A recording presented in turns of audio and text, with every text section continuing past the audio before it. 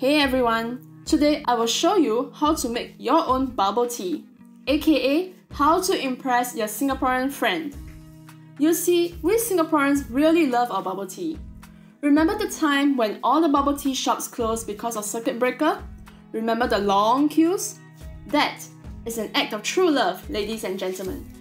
So let us show you how to make bubble tea from scratch, and I promise you, your Singaporean friend will love you for this.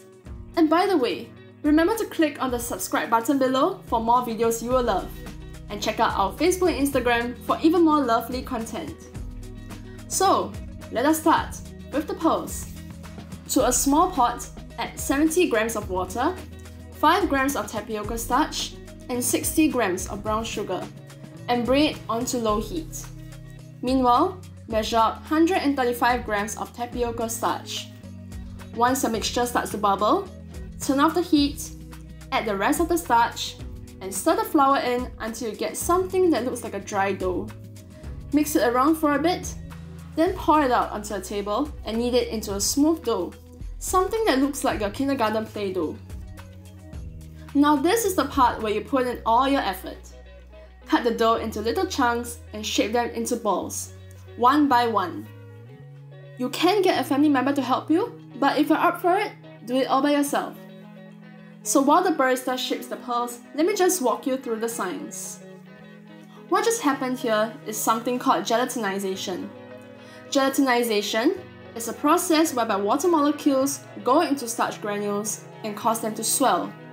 Many plant flours, like a tapioca starch, contain two kinds of starch molecules amylose, which looks kind of like a spring, and amylopectin, which is more branched out.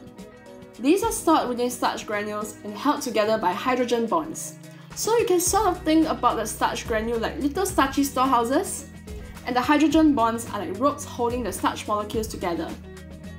When you add water and heat it up, these hydrogen bonds between the starch molecules get broken, and the water molecules gush in between the starch molecules to fill up the space. This causes the starch granules to swell, and what you get is this nice smooth dough which you can roll around. And that's it! That is the science behind the pearls in your bubble tea. And I think the barista is finally done shaping his pearls. So once you're done shaping, pour the pearls in the hot water, let them boil for about 20 to 30 minutes until they float to the top and become translucent and shiny. And while waiting for that, go ahead and brew your favorite tea. Get yourself some hot water, throw in your favorite tea bags or tea leaves, and steep it to your preference. Add as much milk as you like, or don't add milk at all, if that is your preference. And your pearls should be about done. Bring them out of the water, drain them, and mix them around with your preferred sweetener, like honey in this case. And finally, time to assemble the final product. Get a nice cup, spoon in some pearls, add some ice to the cup, and fill it up with milk tea. Top it off with more pearls if that's your thing. And there you have it!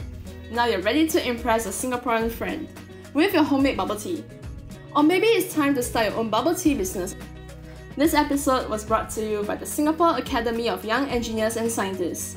If you like what we do, click on the subscribe button below for more videos like this, and check out our Facebook and Instagram for more content.